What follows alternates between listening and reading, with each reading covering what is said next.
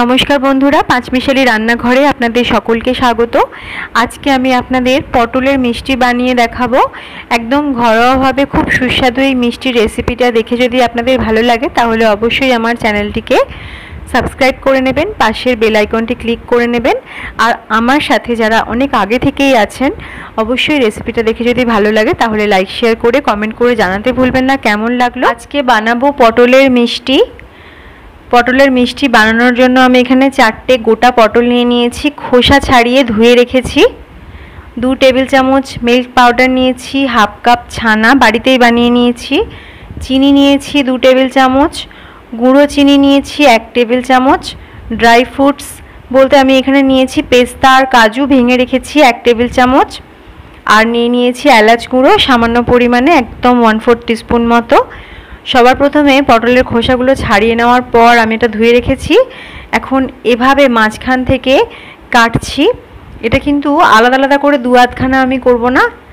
এক পাশ এভাবে কেটে নিচ্ছি যাতে পটলের ভেতরে আমি পুর ভরতে পারি। এখন পটলের ভেতরটা যে দানাগুলো আছে বার করার জন্য আমি এরকম একটা আইসক্রিমের কাঠি বা চামচ ব্যবহার করছি। দানাগুলো বা চামচ দিয়েও এমনি করা যেতে পারে স্টিলের চামচ। আমি এখানে এটা দিয়ে করছি, দানাগুলো এভাবে পুরো বার করে পটলের ভেতরটা পরিষ্কার করে নিচ্ছি। কাটার সময় দেখে নিতে হবে পটলটা যেন গোটা থাকে আর ভেতরটা পুরো দানাগুলো এভাবে পরিষ্কার করে বার করে নিতে হবে। তো প্রথমে আমি এটাই করে নিচ্ছি সবকটা পটলকে। এখন সবার প্রথমে আমি পটলটা এভাবে কেটে নিয়েছি আর ভেতর থেকে দানাগুলো বার করে পরিষ্কার করে নিয়েছি। চারখানা পটলকে আমি একদম রেডি করে নিয়েছি। এখন গ্যাস অন করে ওভেনে কড়াই বসিয়েছি আর তার মধ্যে জল দিয়ে দিলাম অল্প পরিমাণে। আমি জলের মধ্যে পটলগুলো দিয়ে দিচ্ছি। গোটা অবস্থাতেই প্রথমেই বলেছি গোটা গোটা পটলে আমি মিষ্টিগুলো বানিয়ে দেখাবো।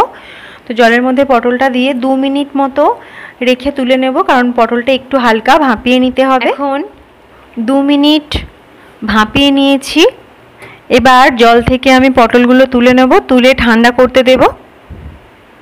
এখন কড়াই থেকে জলটা ফেলে দিয়ে কড়াইটা পরিষ্কার করে নিয়েছি। আমি এখানে চিনির শিরা বানাবো। তো চিনি দিয়ে দিয়েছি। চিনির সাথে আমি জলের পরিমাণটা খুবই অল্প দিচ্ছি। ওই বাটিরই এক বাটি, তার থেকে একটু বেশি মতো জল মিশিয়ে নিলাম। কারণ চিনি শিরাটা খুব বেশি পাতলা হবে না।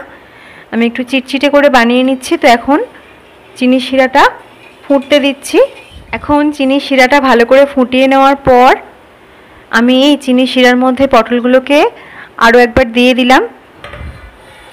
কারণ চিনির শিরার মধ্যে কিন্তু পটলটাকে খুব ভালো করে মিশিয়ে নিতে হবে, যাতে এর মধ্যে রসটা খুব ভালোভাবে মিশে যায়, রসটা ভালোভাবে টানে।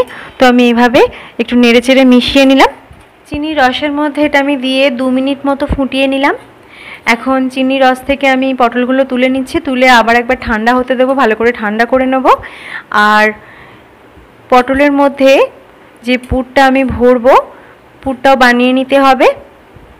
এখন আমি মিষ্টির পুরটা বানিয়ে নেওয়ার জন্য একটা প্লেটের মধ্যে ছানা দিয়ে দিলাম। ছানার মধ্যে দিয়ে দিলাম গুঁড়ো করা চিনি আর দিলাম মিল্ক পাউডার। সব কিছু একসাথে খুব ভালোভাবে মেখে নিতে হবে। এর সাথে মিশিয়ে দিলাম এলাচ গুঁড়ো।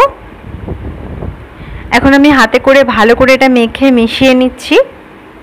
এখন মিশিয়ে নিয়েছি, একটা ডো মতো তৈরি হয়েছে, তো এটা পাতলা আছে, এখন কড়াইতে একটু নেড়ে নিতে হবে। এটা আবার বসিয়ে দিয়েছি, গ্যাস অন করে নিয়েছি।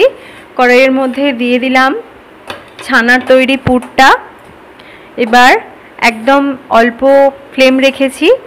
লো ফ্লেমে রেখে আমি একটু হালকা করে এটা নেড়ে চেড়ে নিচ্ছি, একটু হালকা শুকনো শুকনো হওয়ার জন্য। শুকনো শুকনো করে নিয়েছি, ছানার পুরটাকে গ্যাসটা অফ করে দিলাম। দু মিনিটের মতো একদম লো ফ্লেমে রেখে একটু নেড়ে চেড়ে নিলাম। এখন মিষ্টির পুর রেডি হয়ে গেছে, আর পটলগুলো ঠান্ডা হয়ে গেছে। এবার আমি পটলের মধ্যে মিষ্টির পুর মানে ছানার পুরটা ভরে নিচ্ছি। এভাবে পুরোটা ফিল করে নিতে হবে। একদম ঘরে তৈরি মিষ্টি, একদম ঘরোয়াভাবে খেতে কিন্তু ভীষণ ভালো লাগবে। তো সামনেই রাখি পূর্ণিমা। নিজের হাতে ভাইদের এভাবে কিন্তু মিষ্টি বানিয়ে দেওয়া যেতে পারে আর খেতেও ভীষণ সুন্দর হয়। তো এখন আমি একটা পটলের মধ্যে এভাবে ছানার পুর ভরে নিয়েছি। রেডি হয়ে গেছে একইভাবে। বাকি পটলগুলোর মধ্যে আমি এরকম ছানার পুর ভরে নিচ্ছি। করতে কিন্তু একদমই বেশি সময় লাগে না আর খুব কম সময়ের একটা সুন্দর মিষ্টির রেসিপি মিষ্টির দোকানের মতোই প্রায় বানিয়ে নেওয়া যায়। একদম ঘরোয়াভাবে আপনারাও ট্রাই করতে পারেন। আমি এখন সবকটা পটলের মধ্যে ছানার পুরগুলো ভরে নিচ্ছি। এখন একদম রেডি হয়ে গেছে পটল মিষ্টি রেসিপি বাড়িতেই খুব সহজে পটলের এই মিষ্টিটা বানিয়ে নেওয়া যায়। তো আপনারাও বানিয়ে নিতে পারেন। সামনে রাখি পূর্ণিমা উপলক্ষে। আশা করি আপনাদেরও অনেক ভালো লাগবে।